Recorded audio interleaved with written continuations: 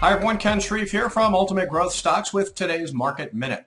Major averages enjoyed a bullish character change last week with two straight days of nice percentage gains and higher volume to end the week. Broad-based indices like the NYSE Composite and S&P 500 broke out in heavy volume Friday, while the Nasdaq Composite is on the verge of a breakout.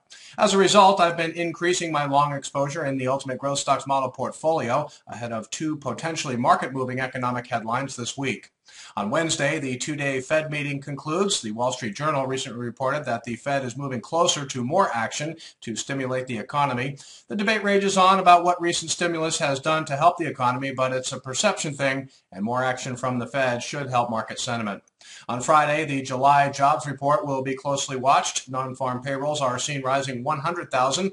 In June, the economy created a paltry 80,000 jobs after adding an upwardly revised 77,000 jobs in May.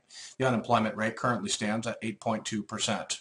Thanks for watching. Don't forget Breakout Investing now airs five days a week on TFNN from 3 to 4 Eastern. Tune in daily for live market analysis and a steady stream of stock ideas.